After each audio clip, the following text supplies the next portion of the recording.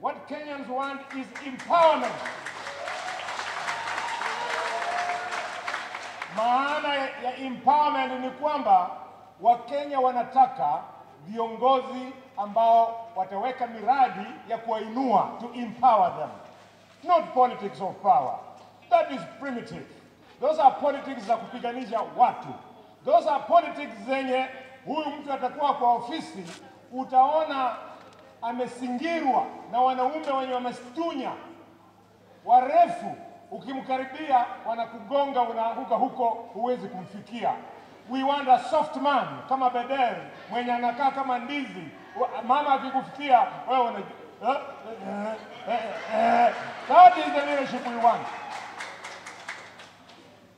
Wanaume, wanaume, mchezo wa ODM mimi naujua. Tarehe kumi na tano muache mama wapige kura, wataanza mchezo ya kushtua shtua akina mama, ati fulani anataka kuwanunua. No, mtembee na akina mama wapige kura asubuhi ishe, alafu afternoon na nyinyi mnaanza kupiga kura, na mkimaliza kupiga kura, nyinyi vijana wewe msitoke kwa polling station, kaeni hapo polling station.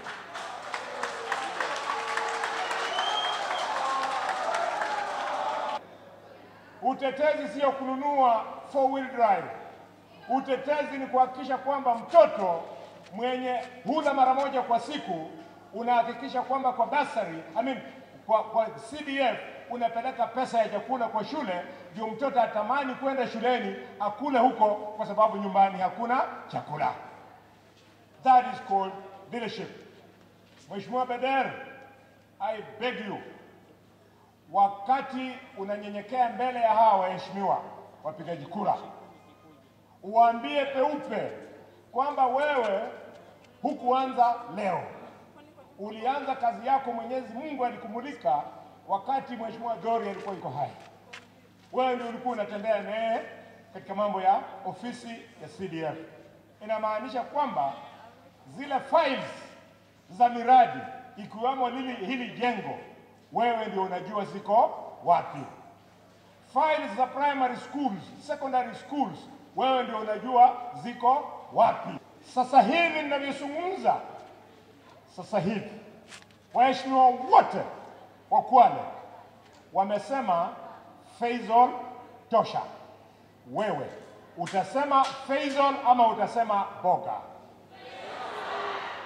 Mheshimiwa Gavana Mvurya na Deputy Governor huko wanasema Faisal tosha, na wewe utasema Boga ama utasema Faisal? Mheshimiwa Deputy President of Kenya William Ruto anasema Faisal tosha, wewe unasema nani? Thank you very much.